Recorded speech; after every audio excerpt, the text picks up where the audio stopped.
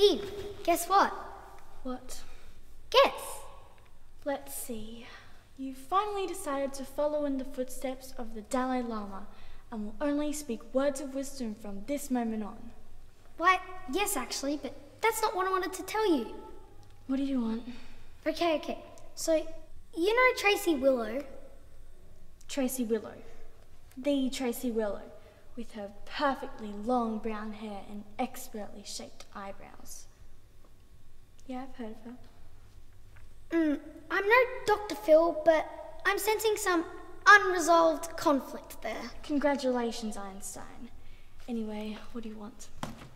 Well, I heard through Max, who heard through James, who heard through Dan, that Tracy Willow is going to ask me out. Now, I'm completely freaking out because I don't know how to approach this. Am I bad guy with a heart of gold? Or am I good guy with mysterious edge?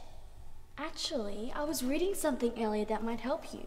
Um, this article mentions something about channeling people who you most admire.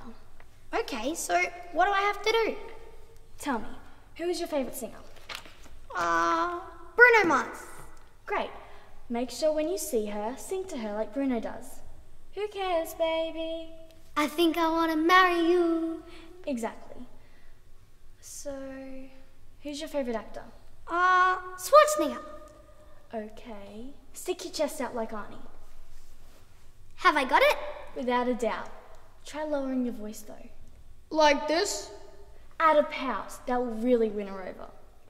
Really? For sure. Do I look like I would lie to you? There was no article, was there? Tell Tracy I said hi.